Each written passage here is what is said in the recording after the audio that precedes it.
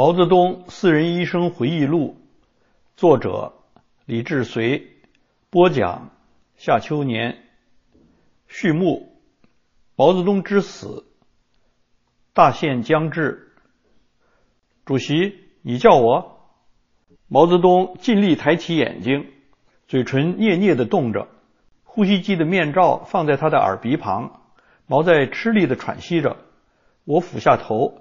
但除了啊啊外，听不清他说些什么。毛的头脑仍然很清醒，但声调中已失去希望。我是毛泽东的专职医生，也是他的医疗组组长。自从1976年6月26日大厅内的心电监护器显示心肌梗死之后，两个多月以来，我们24小时照顾他。护士人手原本不足，从医院又调来一批，每班三个人。另有两名医生做心电图监护，我昼夜二十四小时待命，一个晚上只断断续续睡上三四个小时左右。我的床榻就在毛的病房一个桌子下面。毛泽东已成不死之躯体，对成千上亿的中国人来说，毛不是凡人，甚至不是帝王，他是个神奇。瞎注，神奇就是神明。将近二十年来，毛主席万岁的口号。已与日常生活紧密地连接在一起。对许多中国人来说，这已俨然成为事实。全国各地的街道、工厂、学校、医院、餐厅、戏院和家庭中，充斥着毛的肖像，还有这句口号。甚至那些怀疑毛不朽的人，也相信毛会活得较一般人长久。一九六六年五月，文化大革命的前夕。当时即将被选为毛的接班人的军事委员会副主席林彪声称，毛一定可以活到一百或一百五十岁。瞎注，这里可能是作者的笔误，因为据说这句话是叶剑英说的。叶剑英当年在一次接见红卫兵时称，根据北京三零幺医院各科专家研究的成果，毛主席可以活到一百五十岁，林副主席可以活到一百二十岁。话休续凡。谁敢暗示毛是凡人，就得冒着被打成反革命的险。中国人民此时仍被蒙在鼓里，不知道毛病倒了。他们只能从毛与国外显贵会晤的几张应景照片中略窥毛衰老的情况。毛的最后一张照片是在1976年5月与辽国领袖凯山的合照。瞎注，辽国就是老挝。编者注：1973年后。毛行动都需要旁人搀扶，因此未曾有站立或行走的照片。中国当局记录，毛于1976年5月27日曾与巴基斯坦总理布托会晤。言归正传，虽然那张照片显示他们的领袖已垂垂老矣，新闻媒体仍坚称毛红光满面，神采奕奕。直到1976年9月8日早晨，数以亿计的中国人民仍高喊着“毛主席万岁”。但在那天晚上，我们这些随时在毛身边的人心里都很清楚，毛的死期近了。中国共产党中央委员会的两名副主席华国锋和王洪文，中共中央政治局的两名委员张春桥和汪东兴，这四个人自从六月二十六日毛发生第二次心肌梗死以后，也一直分成二组，轮流昼夜值班。负责拯救主席生命的华国锋对毛忠心耿耿。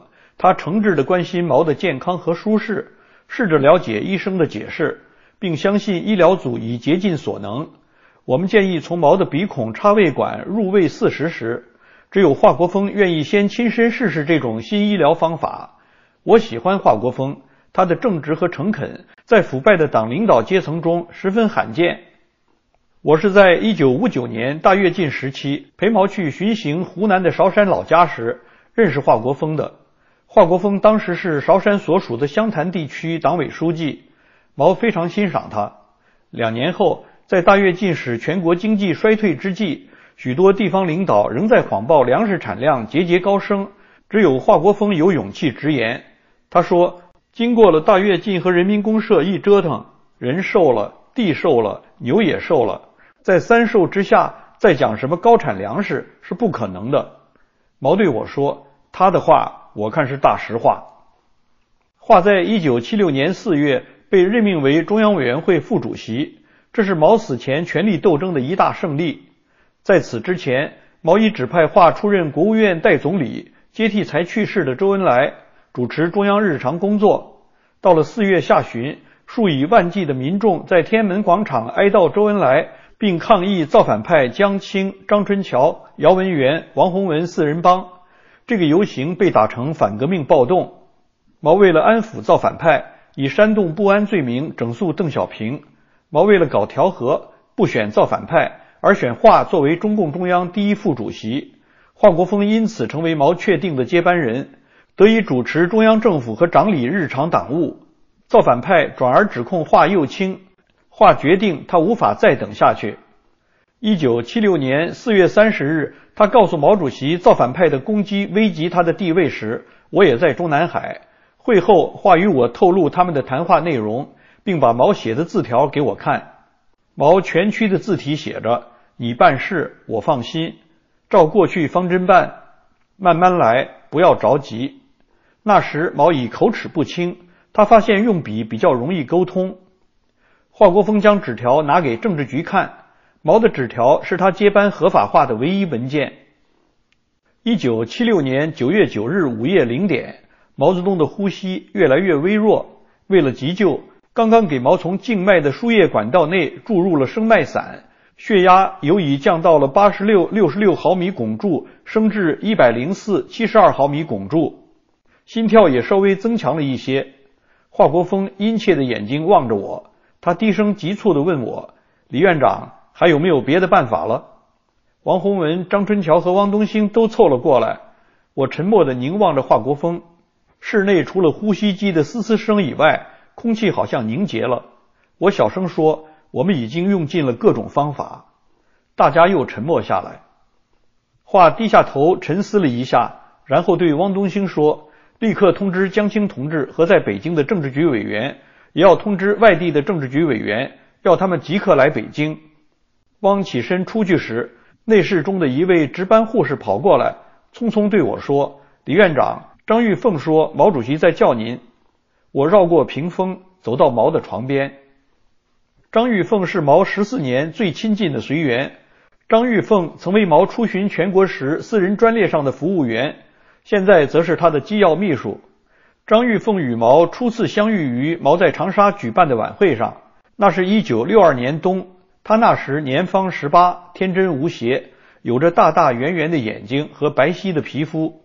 他主动请主席跳舞，就在这次晚会上，毛与张连续跳了几场舞。等到舞会结束，我亲眼看见了毛携了张玉凤的手回到他的住室。毛与张的关系十分亲密，毛也有其他几位女友。现在仍有两位原空军政治部文工团的孟锦云和李灵师在做毛的护士，替他擦身和喂食。但张玉凤待在毛身边最久。虽然在岁月摧折下，他也开始饮酒。但他一直深受毛的信任。一九七四年，毛的机要秘书徐业夫因肺癌住院，张便接管毛每日批阅公文的收发。在毛视力衰退以后，他便负责将那些公文读给毛泽东听。张于同年年底由汪东兴正式任命为毛的机要秘书。我是毛的私人医生，给毛检查身体时还可以见到毛谈几句。别的任何人要见到毛，首先要经过张玉凤的同意。一九七六年六月中旬，当时是国务院代总理的华国锋到游泳池来，要向毛报告工作，叫张玉凤三次，张睡觉不起。另外两个值班的是孟锦云和李灵师，不敢向毛说话，要谈工作。他们说不经过张，直接同毛讲了就不得了。话等了两个多小时，张仍然不起床，话只好走了。孟锦云告诉我，一九七六年初批邓整风后，邓的女儿给毛写了一封信，说批邓以后撤走了工作人员，邓有病，他要求自己留下照顾父母。这封信是否交给了毛，很值得怀疑，因为结果邓的女儿仍没能够去照顾他父亲。张玉凤能爬到这个位子，完全是因为只有他听得懂毛的话，连我都要透过他翻译。张玉凤对我说。李院长，主席问您还有救吗？毛用力点点头，同时慢慢伸出右手抓住我的手。我握住他枯槁的手，桡动脉的搏动很弱，几乎触摸不到。两侧面颊深陷，早已失去了他以往丰满的面容，两眼暗淡无神，面色灰青。心电图示波器显示的心电波波幅低而不规律。我们六周前将毛从中南海游泳池搬到代号为二零二这座大厦内的一个房间。一九七六年七月二十八日，北京附近发生了强烈地震，北京东北一百里外的唐山市全被摧毁，二十五万余人当场死亡。北京市虽没什么伤亡，但房屋倒塌多处。数以百万的市民唯恐再发生一次强烈余震，在街上搭的防震棚住了好几个礼拜。自文化大革命初期，毛便住进了中南海的室内游泳池，他的病床就在室内游泳池内一个房间里。地震时，游泳池也受到强烈震摇，我们决定将他迁往更安全的地方。二零二似乎是唯一的选择。一九七四年，游泳池以南的旧平房被拆掉。盖了一座抗地震的大厦，旁边又修了随从人员的住房。大厦有走廊连接游泳池，这座大厦就称为二零二。唐山大地震当天傍晚下了大雨，又有一次地震，在二零二这栋屋内几乎没有任何感觉。其实那时即使山崩地裂，我都不会有什么感觉。我全心全意在救助毛泽东奄奄一息的生命。